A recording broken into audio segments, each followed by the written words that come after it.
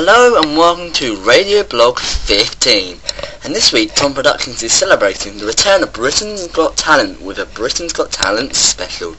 Yes, this year Britain's Got Talent returns for its fourth series on ITV1. Last night the first set of auditions aired on ITV1. The first set of auditions took place in London and Birmingham. However, for a small time in Birmingham, Simon had the flu. Therefore, Louis Walsh, Simon's X Factor partner in the judging panel, took over for the time until he was shocked when Cowell himself stepped onto the Britain's Got Talent stage to replace himself back into the Britain's Got Talent judging panel. This special 10 minute blog looks at the many auditions we've seen so far on the show. Now we'll give you to all the latest on the talent with Tom Productions News.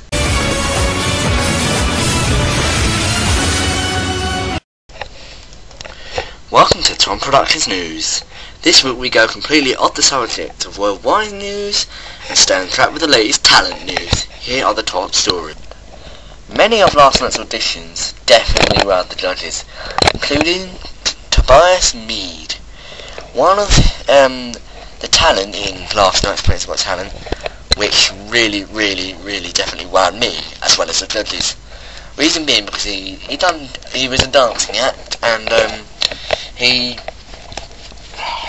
he had to, he had this mask at the back of his head of his head and a hoodie with the hood and which like back to front the back of the hood. The hoodie's not meant to be there in the back. It was it's meant to be in the back, but it was in the front. But yeah, he was definitely one that wowed the judges, and there were so many more that wowed the judges and me too. So especially that dog. Oh, so cute. Last night I couldn't stop thinking about one unforgettable act. Yes, and that act's name is Chloe Higginbottom. She she was definitely an actor I couldn't stop thinking about because she was a really good singer. Now, last night she went out with surprise as she sung White Cliffs of Dover by Vera Vera Lynn.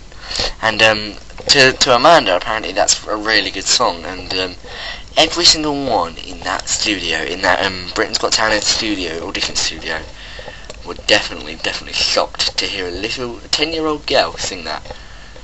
And that is quite a good song to sing, really, a very good song. Especially Amanda, because she was actually really, really, really shocked to hear Miss Higginbottom sing that. But yeah, she was an excellent singer. When Louis Walsh took over the judging panel last night because Simon had the flu, that was just so funny.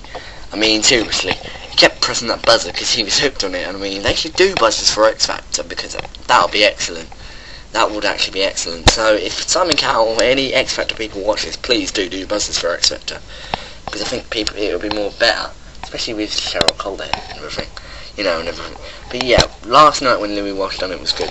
But I just loved to I loved Louis' face when Simon walked in and then took over from him. And it actually, that was actually good how they done that when Simon replaced Louis over the panel again. Mm, I loved it. Um, also, it was funny when they um, went backstage. Um, in backstage, they were all jumping and cheering because um, Simon wasn't there. That was so funny. But yeah, I that last night was good when because Simon had the flu, so then therefore Louis had to take over. Because well, he, he, they couldn't find anyone but Louis to take over the judging yeah, it was an excellent thing that how they did it last night with Louis. Yeah, definitely. And that's all we've got time for for Tom Productions news.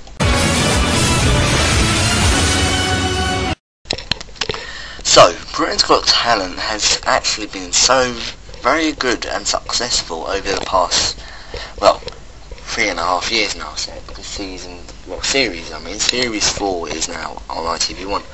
But um, last year, I, I haven't done one of that Britain's Got Talent in a while, Radio Blog. The last Britain's Got Talent stuff I mentioned was Radio Blog 5 when I had my guest star, David. But, um, yeah, that was an ex that was actually a real excellent year last year because of Susan Boyle. And there was lots of news, but we still haven't found the next Susan Boyle. But will we? We're going to have to find out pretty soon because there probably will possibly be a new Susan Boyle this year. But when and where?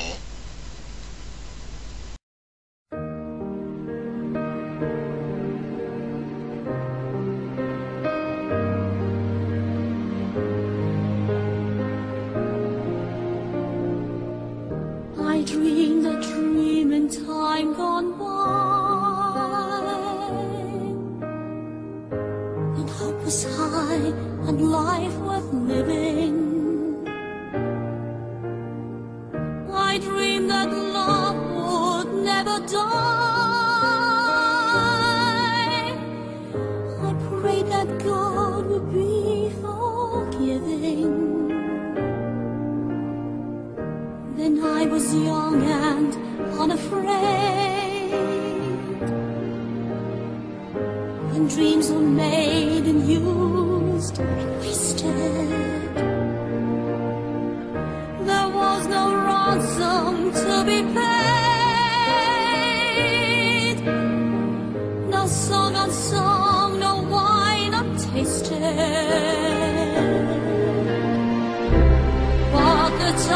has come at night with a voice as soft as thunder as they tear your hopes apart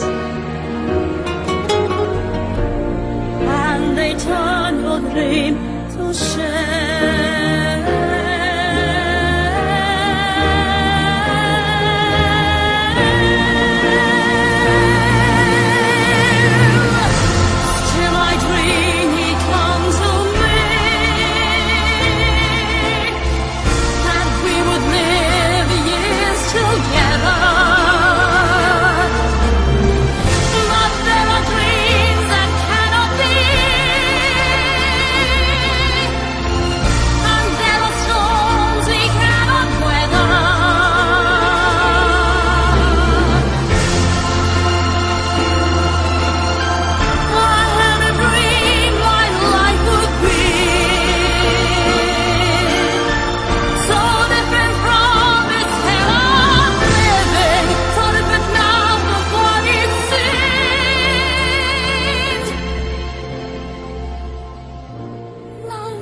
skin dream